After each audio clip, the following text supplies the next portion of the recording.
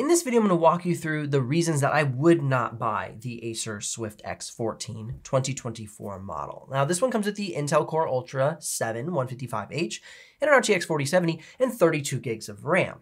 So it has seemingly the components that you would need for the performance that you would desire. We'll get to that in just a minute. The first reason would be the aluminum material that they chose to use. It just feels really thin. And though the laptop is light, and that is somewhat advantageous to somebody who's looking for an on-the-go 14-inch device, they want it to be light, on-the-go friendly, I would rather have the device be a little bit heavier and feel thicker and more sturdy. And so that would be something right off the bat that I just wish was a better design. Now, I also think that the plastic you know, hinge housings, the plastic bezel around the display. And This all lends to feel like a much more budgety laptop than the actual price might lead to. I mean, the retail MSRP of this laptop is $15.99, and it just doesn't feel like a $15.99 laptop. It feels more like an $8.99 or $9.99 or $11.99 at max. And so for that, I just really would not buy this. Now, the next thing I'm looking at is going to be the maximum graphics power. The maximum graphics power is basically the maximum allowable power that is sent to the GPU for it to perform its tasks, and that is 60 watts. In comparison, the Lenovo Legion Slim 5 14-inch model has a maximum graphics power of 95 watts.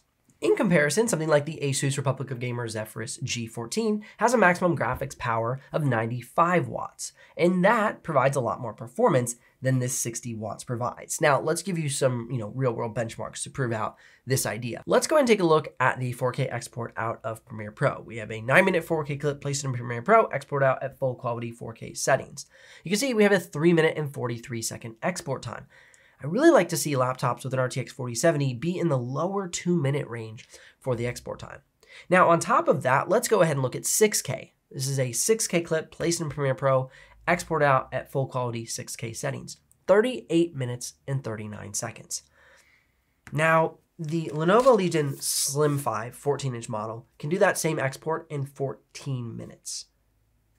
And this laptop is the same price MSRP, but actually even more affordable when you can find it on sale, which it's often on sale quite a bit. Now the MSI Cyborg, a laptop that retails at 1099, but I've seen it on sale right now at the recording of this video for 899, can export that same clip in 22 minutes. Something to consider.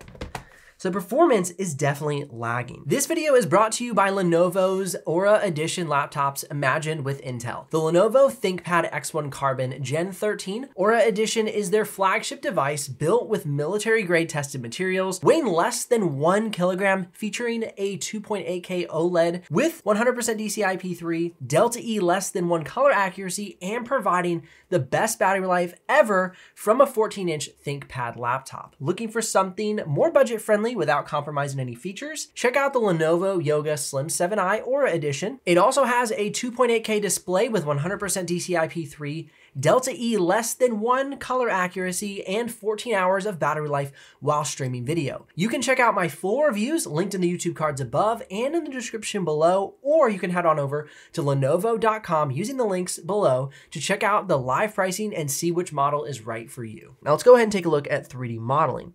We see 175 points in Autodesk 3ds Max, 184 PTC Creo, 247, that's its best score in Autodesk Maya, and then 89 in SolidWorks.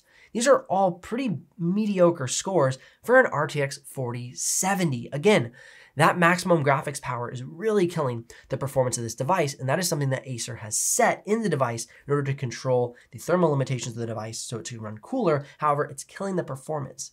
And so this is not a very well optimized device. Now, I will say there are a few things I really do like about this device. It has a fantastic OLED display. The OLED display can reach 394 nits of brightness at 100% sRGB, 89% Adobe RGB, and 97% DCI-P3 at a delta E of 0.81. So thumbs up on the display. Absolutely, it's great.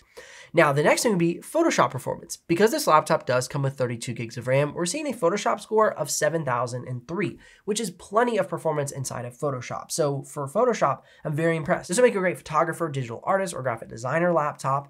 who needs a color accurate display and great performance in the Adobe Creative Suite like Adobe InDesign, Adobe Photoshop, and Adobe Illustrator.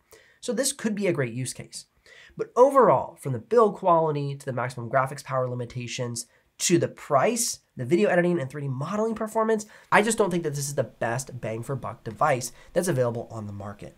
As I mentioned, I would show you two devices that I really enjoy. One would be the MSI Cyborg 14.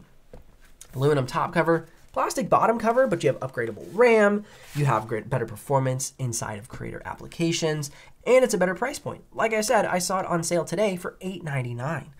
Now this is the Lenovo Legion Slim 5 14-inch model, and this is one of the best devices in 2023 and 2024. However, they haven't continued releasing this device in 2024.